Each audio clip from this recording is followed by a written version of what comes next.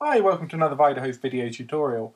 Today we're going to be looking at Softaculous and how we can use it to install WordPress, a really simple blogging platform, onto our site.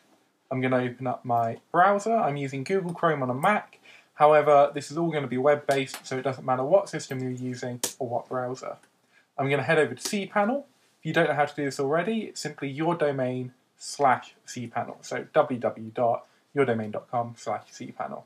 When you log in, you'll see this really nice, uh, really nice menu here.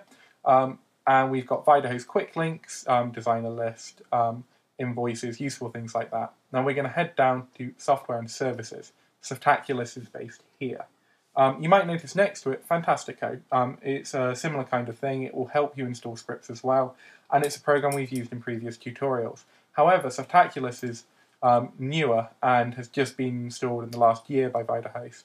Um, it's a fantastic little bit of software that makes it easy for first-time users if they maybe don't want to install sites through FTP and databases, that can get a bit complicated. And it's also fantastic for more advanced users who just want to speed up their workflow. So as we can see here, we've got blogs already open, little drop-down menu if it's closed already, and we see WordPress. WordPress, though, has two possible installs. We're going to be installing WordPress Classic, um, but there's also WordPress MU.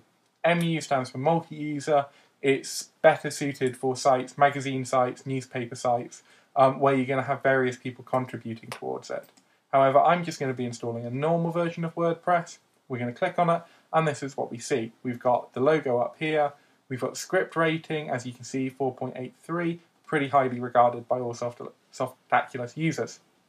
I've got a couple of current installations on the dummy domain um, from where I was trying out tutorials earlier.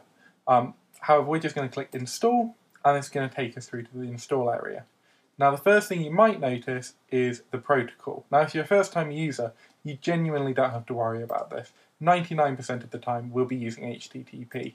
Um, however, if maybe you're looking at installing WordPress and using it for something more advanced, like an e-commerce solution, there are plugins to help you do that once you've got it up and running you can use HTTPS, and that's ideal if you want to show your users the site secure. Um, you need an SSL certificate. To do that, VidaHost can supply them for you. Just get in contact with them and they'll help you set that up.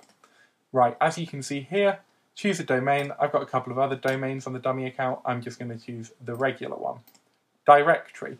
Now, if you're a first-time user, maybe you're not familiar with all the terminology, all directory means is it's where it's going to be installed on the server. So let's say we want it installed and the only thing on the server. Um, if we make this blank, it will just be mydomain.com forward slash will take you straight to the blog. But I'm going to install it as WordPress blog. So if I go to mydomain.com forward slash WordPress blog, that's where it's going to be located. Database name, very important if you want to keep track of your databases, if you've maybe got one or two different things. Um, this is just WP579, it's uh, 576. Uh, it's, it's just a predetermined generated database. So, so if you're a first-time user, don't worry about that. If you want to keep track of it, change it to something that you're going to easily remember. Table prefixes, again, I, really important if you're looking to do really advanced things with it. Maybe if you're looking at having one database serving various things, you can customize this, you can run one or two WordPresses off it. This is much more advanced, and we'll be looking at this in later tutorials. So first time users, just skip over this. WP underscore, absolutely fine. Site name, exactly what it says on the tin.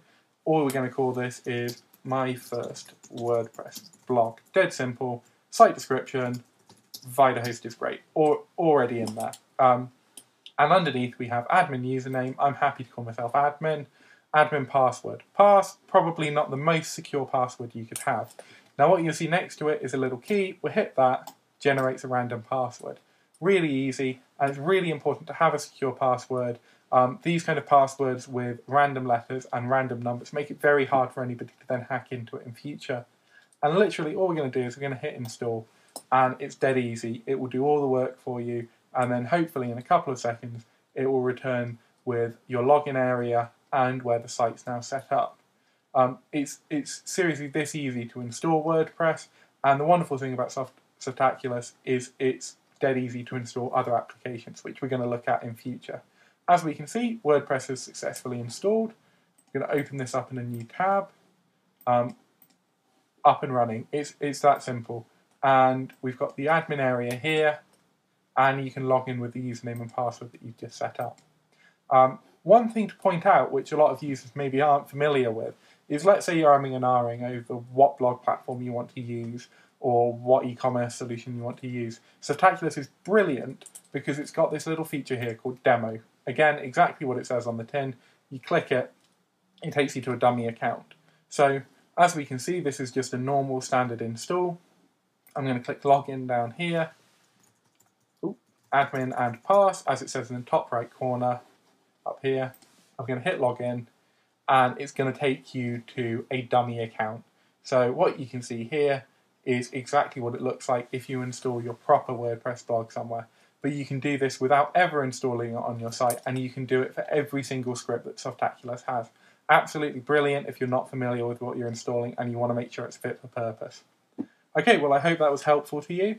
Um, there will be future tutorials looking at WordPress in more detail, so please check back if you're interested in how to use the platform. Thank you very much.